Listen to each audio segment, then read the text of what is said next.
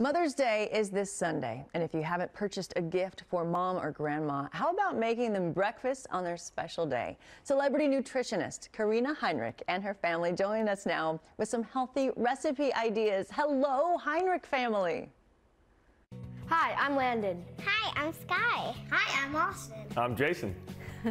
and I'm Karina. We are so excited to show you how easy, delicious, and special it is to put together the perfect Mother's Day breakfast in bed spread for the special mom in your life.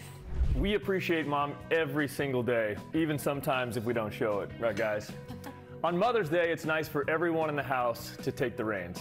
Yes, and don't worry, these recipes are so easy that your kids can really get involved in the kitchen too. Mom, do you like sweet stuff or savory? Hmm, that's a great question, Landon. I think it's nice to include a little bit of both, even if I happen to veer towards a sweeter palate. Okay, Jason, I'm gonna have you start to help Austin and Sky get toppings on these waffles.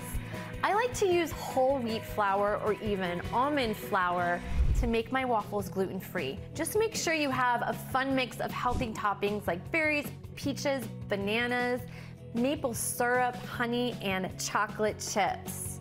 I love chocolate chips, Mom. I know you do, I can tell, Austin. I actually prefer something a little more savory.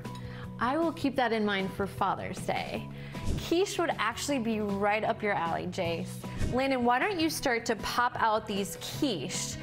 I love quiche because you can make an egg base and really have fun with the ingredients and toppings and even the muffin liners.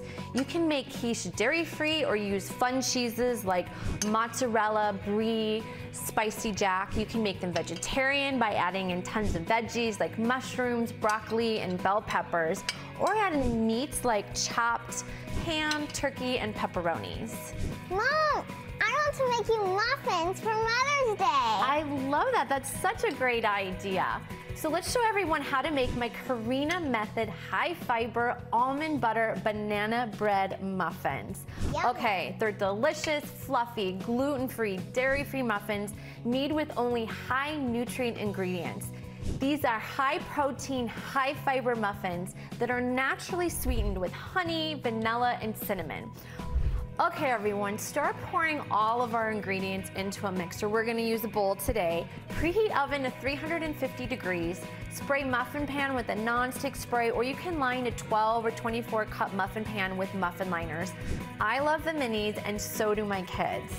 Add your mixture of creamy mashed bananas, almond butter, eggs, honey, almond milk, and vanilla until smooth and well combined.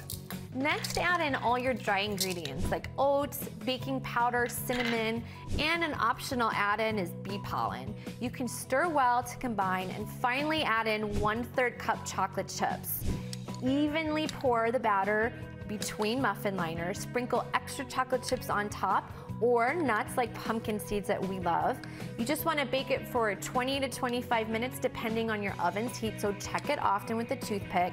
These freeze really well up to three months, but they never last that long in the Heinrich home. No, they don't. I love you, Mom. Oh. Happy, Happy Mother's, Mother's Day. Day.